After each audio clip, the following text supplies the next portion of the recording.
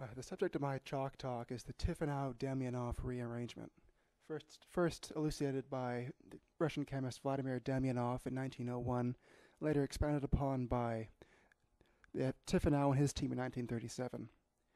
Demjanov's initial rearrangement involved expanding a five or six membered 1 amino methyl cycloalkanol into a slightly larger uh, ketone. I'll show that mechanism right now. It involves introducing nitrous acid and water into, the, into a solution with the species. Before that reaction proceeds, though, nitrous acid has to rearrange to form a nitrosonium ion, which will occur, which will occur within some equilibrium in the in solution.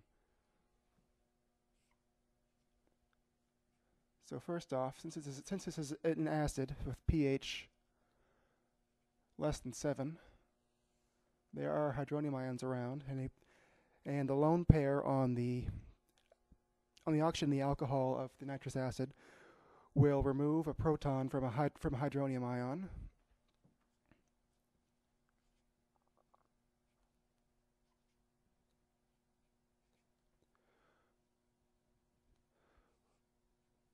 which will allow it to be removed as water from the from the future nitrosonium ion, forming an triple bond O positive.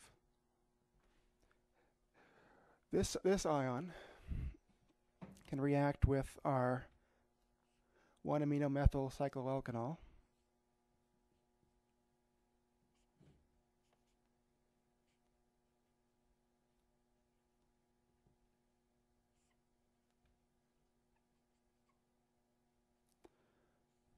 The lone pair on the amine group will attack the nitrogen in the nitrosonium ion and begin to form a diazonium group and eliminate the oxygen, oxygen ion here as water after some rearrangement.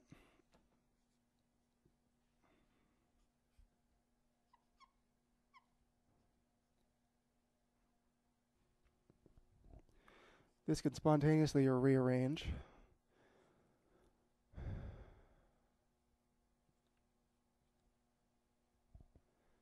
to form something closer to the to the diazonium ion needed. Hydrogen group intact.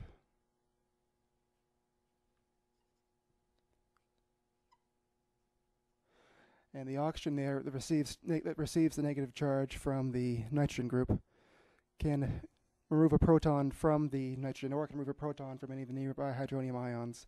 And these protons can be removed by basic by basic elements in the solution. From there, the alcohol group can remove another proton from water or from hydronium.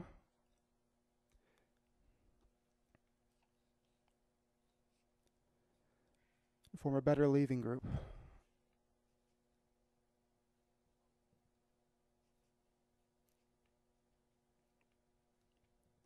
Which will allow it to be removed by the nitrogen, forming.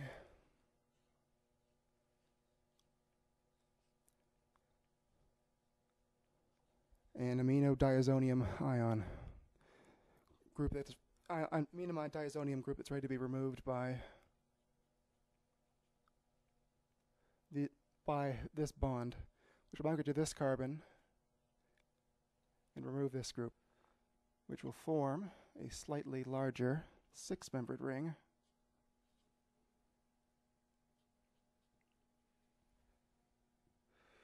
which can rearrange to form a six-membered ketone. Those are the basic elements of the mechanism for Demjanov's five or six-membered ring expansion, although Tiffeneau will later improve it by showing it could be done with much larger rings, 9, 12 membered, using, using um, catalysts. But for the basic core of the reaction, this is the reaction in its entirety. So from the nitrosonium ion formed by nitrous acid, following this, following this attack here by the amine, from there forming the from there forming the diazonium group, which is kicked out is a favorable, leaving group allowing for the ring expansion to a six-membered ring, and from there, it's a very simple step to going to a six-membered ketone.